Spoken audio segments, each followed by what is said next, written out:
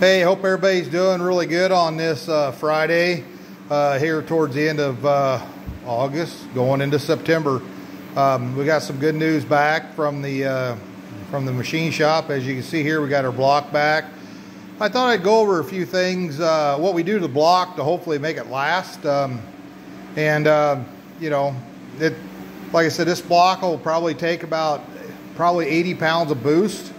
Um, and really RPM wise, we're right around that 6,000 RPM range. And uh, horsepower, we shoot for 1,500. That's kind of about where everybody's at in this class. But really, you think about it, that's only a 370 cubic inch engine that's, that's pushing out that many horsepower. So I'll go over some things we do to the block to hopefully uh, strengthen it, make it last a little longer. And uh, I'm kind of mad at myself here too. Uh, I bought some parts and in my organizing skills, now I can't find them. So now I'll probably be digging through everything all weekend looking for these two or these uh, one, two, three, four, five, seven little uh, aluminum inserts. So we'll start here. As you can see, uh, you see we added main studs to the uh, bottom of the block. Um, these main studs are actually, we went away from metric to the bigger uh, standard um, main studs here. Uh, they are long, and the reason they're long is because if we go over here, you see this big thick uh, piece of steel here. This is what they call a girdle. And what that does is that goes over every one of those bolts after you put on the main caps, which are right here. Um, and so in order to get that just right so everything's snug up, we have these shims right here. And each shim is machined specifically for each one of those caps. So when this goes down, on top of that motor, these them caps are flush with the with the with the rail. And what I mean by the rail is I mean by this part right here. There's a little bit of a gap here, but this is the this is the pan rail. And so that steel plate ties all these bolt holes together on both sides, plus these here. And then we tighten this down to 150 foot-pounds on these mains in order to keep these caps, because what happens is these caps want to do this. When they're under extreme load and under extreme pressure, those caps, they call it cap walking. And what by doing this, we're crunching everything down tight and then secured it to the outside of the block, which ties everything together, which gives you a, a lot better base. So another thing we do is you look down in here, I don't know if you can see very well, but you see down in here we have notched this block out further on both sides. So with aluminum rods, them aluminum rods are a lot thicker than your standard cast rods that were in this um, motor. But they're, they're actually the same, same length, um, same bearing sizes, all that stuff. But the rods are just a lot thicker and a lot beefier. Um, there's quite a difference in it. I would I should have got one out for this video. Um, so that's where we're at there. There's a lot of grinding that goes on into that deal. Another thing about a Cummins is uh, the Cummins on the front of the motor, figure out which way is the front, here we go. So normally Cummins, um, when we talk cam bearings, they usually have this cam bearing in right here. And the rest of the bearings all the way through there, all the journals, they do not have bearings in them. Um, and they run, um, well the reason is, is they just figure steel, they just run steel on steel. They cast, like if you run steel cams, these are a must. These are a must if you run a steel cam. If you run a billet steel cam, you cannot run cast to steel. You got to have these bearings in them. But the reason we put the bearings all the way through the motor, plus it, what it does is plus it gives you a, a better bearing surface. And we run a lot more spring pressure than a normal motor in order to keep the valves. So the valve, the springs on the valves are a lot stiffer and so it wants to put more pressure on this cam as the valves are opening and closing and thus puts more pressure into the cam and it can push it into the side to where you might not have very good lubrication without these uh, bearings. You could be pushing it into the into the casting and you could cause uh, a lot of wear and tear on your motor. So we chose to go ahead and have that done. Um, so on the underneath side, I'll just get you a quick shot underneath here. Oh, another thing we do is this block is filled completely full of hard block. Um, hard block is a product that they use on engine blocks and it fills up the entire water. Where all the water would have, would have went that block is going to be, that stuff is where the block. So that concrete took the place of the water. And so running methanol, you don't have to worry about water anyway because methanol burns cold and uh, it cools the motor. So as we get here on the underneath side, so what we do the underneath side, you can see the, the cement right there. So on the underneath side, you can see these grooves right here. So we what we run what they call a uh, O-ring or C-ring or fire rings or whatever the heck you want to call them. And we insert metal rings into these here. The head gasket goes on the outside, on the outside of it. So when you push that, when you push the head gasket on it, that ring, that ring will give you more strength um, and just more in general, uh, it's just a better seal. So when you're running 80 pounds of boost, you're not trying to push the head gasket out. That ring's going to take that abuse of that intake manifold pressure on this motor. This motor is bored out 40 over. That's about the max you can go on a 5.9 Cummins block. You can't go any bigger than that. Um, or if you're not, you get into some real, uh, real uh, short sidewalls. Um, so this, this block was machined completely flat. So there's no imperfections in this block. It's built completely flat. Um, so that's kind of the stuff we do on the block here. Um, we do run an SFI harmonic balancer, the crankshaft bid balance. The pistons are made by Arias.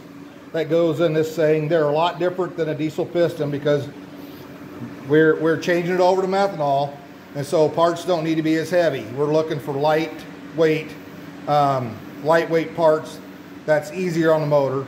Um, so that's that's kind of where we're at on the motor. Everything's ready to go here. If I could find them damn little inserts. So what I mean by inserts, so in a Cummins, you see these holes, there's three holes back here.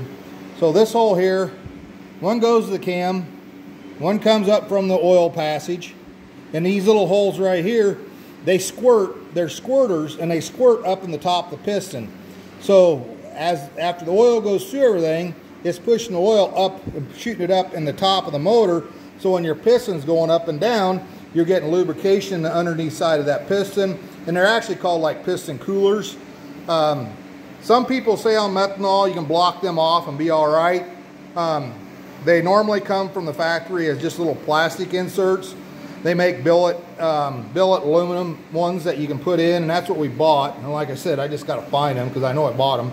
They're here somewhere. So, so that's uh, that's what it takes to handle the horsepower that we run through this little motor. As you see, the motor's not that big, uh, not that big at all.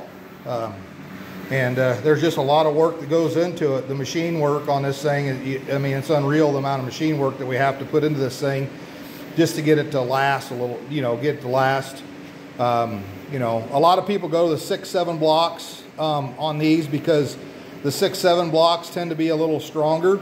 Um, and what they do on them is on the underneath side where you see them O-rings, what they'll actually do is they'll actually take a one inch thick steel plate and they'll then they'll attach that plate to the top of the motor and then that plate and then they'll actually sleeve the motor to where this here does not have sleeves in it. This is a bore just like you would see in your common V8 where a lot of diesels they have what they call sleeves that they press in. And by pressing them sleeves in if you heard a, if you basically if you heard a cylinder they're easy to replace. We can't we don't have that option with Cummins.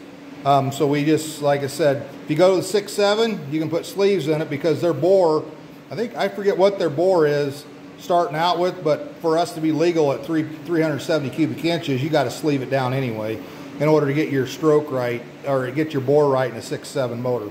So um, that's kind of where we're at on the motor. Um, if I could find them damn little things, we'd be putting it together, but uh, but we'll get it going. We're not going to do it this year. Um, we're not going to get it going this year, but we'll have it we'll have in the tractor here as soon as I find them things and get it put together. Um, the bell housing, um, we got it all back from the certifier. And uh, what they do is these bell housing have to be sent back every three years. And when they come back, they got to have your name on them. They have this little SFI sticker that says when they expire. And then in here, this is a steel ring. This is like a blow ring. That ring is in here in case that clutch comes apart. And if that clutch comes apart, this ring will catch it and keep it from coming out of this uh, bell housing. Um, and so that's another safety device that's required um, for what we run. Now, if you run a regular tractor that has a cast rear end and a cast bell housing, you're required to put a bulletproof uh, a blanket. It's a thick Kevlar blanket that they wrap the bell housings around them to keep those, if that, that comes apart, it keeps everything trapped in that bell housing and it doesn't let the parts and cast pieces come out. Um, just to kind of give you an example here, this clutch disc, this here's the clutch flywheel. This clutch flywheel weighs 65 pounds. And then plus there's about another 30 to 40 pounds of parts that go in it for a clutch.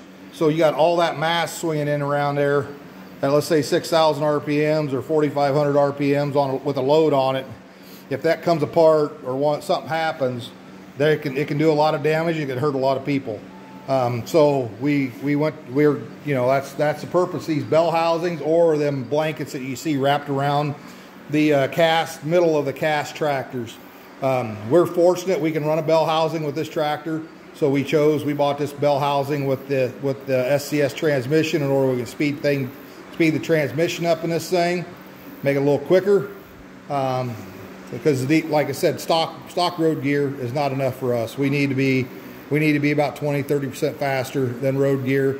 And then even now with the performance that, like I said, we've been in, at this two years, and I bet you we're already a year behind um, for what guys are getting out of these motors. Um, I will say that I think the alcohol is kind of a little bit handicapped right now. I don't think we got to figure out the diesel guys are passing us up. They're doing their homework. Um, they're getting stuff figured out. a lot of them are going to 410 cubic inch intercooled motors. Um, that seems to be what's working really good in our class. They're creating a lot of horsepower with that motor. Um, so we've got to get some more horsepower out of these little aluminum, out of these little alky motors because we aren't keeping up. Um, there's some of the top running Alky motors in the nation right now, and they're second, third, fourth. I mean, you don't, you know, used to be you'd see them in the winter circle all the time, but now, now they're just they're kind of like everybody else, uh, running what you can, doing what you can do, and uh, and there's like some guys that are have got the best turbos money can buy and all this other stuff, and and it's still it's a struggle for us to keep up with these little 370 Alky motors, but we'll keep working on it and we'll we'll catch up someday. We just got to figure out different, um, maybe a different motor program, um, different cam profiles. Uh, I've really thrown around. I got an idea in the back of my mind. I ain't going to share it on here. Um, what we might be able to try um, to get some more ponies out of this thing.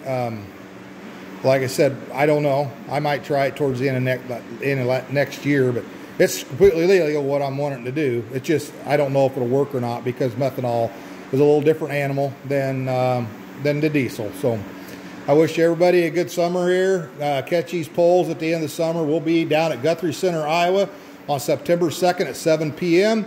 Uh, for a Heartland pull. Come out, support us. It's a great little fair. You pay like, it's just a gate fee. Everything in the fair is free after you get in the gate, except, of course, your food and drinks. But all the grandstand entertainment's free. And it's just a great little fair down there in Guthrie Center, Iowa.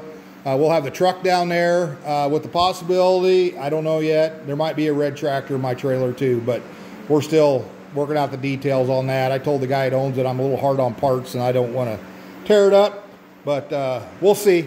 We'll see if we bring it or not. So if not, I will tell you that the blue truck will be down there making its last pass. We got a game plan for the motor, what we're going to do. Um, we're not, like I said, I've kind of expressed that in what done some other videos on what we're doing with that motor, so we plan on we're going to stick with that. I got my head combination that I want to run to be legal. I think I got picked out the best heads possible for what I want to do. Um, and if they choose to go another direction with the heads, that's fine. I'm still going to stick with what I'm going to do, follow through with it, save up my money, get the heads I want. I don't have to have special pistons for these heads and all this other stuff. And we're going to have the, I actually, where this block came from, um, Deemer's Performance over in Carroll, Iowa. They're going to probably do the motor of the truck. I already talked to the owner, and he's excited about seeing what he can get out of that little motor. Um, one thing that we have, uh, one thing that we have found out, and it's still just a lot of me reading and a lot of research. I talked to them guys over there that do a lot of dyno work.